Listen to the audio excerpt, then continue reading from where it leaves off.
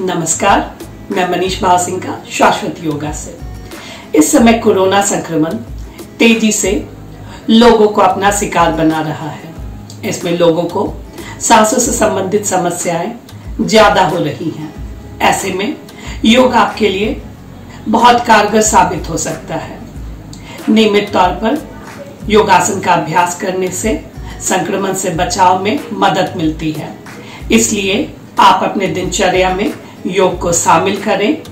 योग न केवल आपके फेफड़ों को मज़बूत बनाता है, बल्कि आपके रोग प्रतिरोधक क्षमता को भी बढ़ाता है।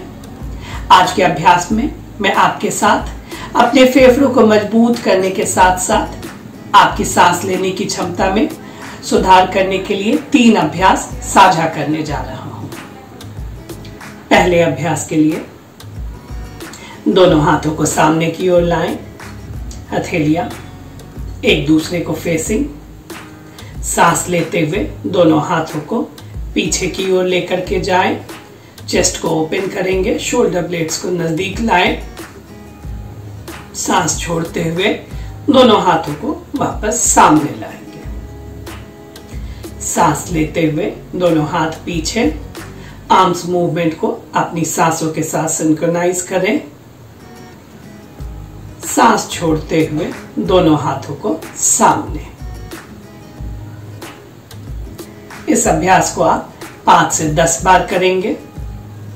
पाँच से दस बार होने के बाद आप रिलैक्स करें। द्वितीय अभ्यास के लिए तैयार हो जाएँ। द्वितीय अभ्यास में दोनों हाथों को सामने की ओर लाएँगे, हथेलियाँ ज़मीन की ओर। इस अभ्यास को मैं साइड वेज करके दिखाता हूँ आपको। सांस लेते हुए दोनों हाथों को ऊपर की तरफ़ लेके जाना है। हाथों को थोड़ा सा कान के पीछे, हाथों को ऊपर खींचे। सांस छोड़ते हुए दोनों हाथों को कंधे के सीध में। सांस लेते हुए दोनों हाथ ऊपर, केवनी को सीधा रखें। सांस छोड़ते हुए दोनों हाथों को सामने कंधे की लाइन में। पाँच से दस राउंड करने के बाद दोनों हाथों को नीचे लाएँ रिलैक्स करें। प्रयास करना है कि आप अपनी सांसों को लंबा करें। अपने आर्म मूवमेंट को अपनी सांसों के साथ सिंक्रोनाइज करेंगे। इसी के दूसरे अभ्यास में, द्वितीय चरण में दोनों हाथों को शरीर के बगल में रखें। सांस लेते हुए साइड से दोनों हाथों को ऊपर लेकर के जाएँ। दोनों हाथों को नमस्कार में लाइए, आपस में टच करिए, हाथों को ऊपर खींचे, सांस छोड़ते हुए दोनों हाथों को वापस ज़मीन पर लाएँगे। सांस लेते हुए दोनों हाथ ऊपर,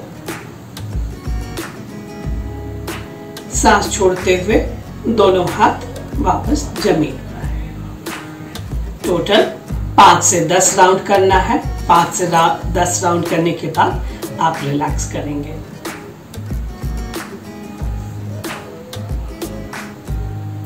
तीसरे अभ्यास में दोनों हाथ को कंधे की लाइन में लाएँगे। यहाँ से सांस छोड़ते हुए लेफ़्ट वाले हाथ को राइट घुटने पर रखें। राइट वाला हाथ पीठ के पीछे ज़मीन पर पीछे की ओर देखें। सांस लेते हुए दोनों हाथों को खोलेंगे सेंटर में आएँगे। सांस छोड़ते हुए लेफ़्ट साइड जाएँगे। लेफ़्ट साइड ट्विस्ट करें, पीछे देखें। सांस लेते हुए सेंटर में आएँगे। सांस छोड़ते हुए राइट साइड सांस लेते हुए सेंटर। सांस छोड़ते हुए लेफ़्ट साइड। सांस छोड़ते हुए, लेते हुए सेंटर। पाँच से दस राउंड करना है।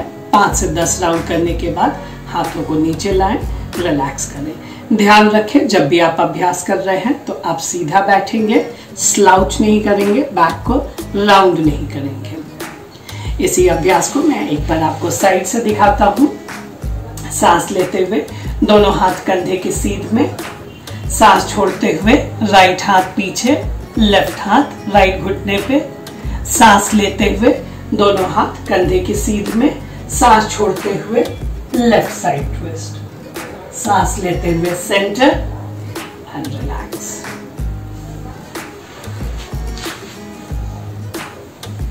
आपको इस अभ्यास को धीरे धीरे करना है। सांसों के साथ सिंक्रोनाइज करना है और सांसों को लंबा करने का प्रयास करना है। तीनों अभ्यास बिल्कुल बेसिक है, बहुत ही सरल है और अत्यधिक प्रभावी है। आप सभी कर सकते हैं।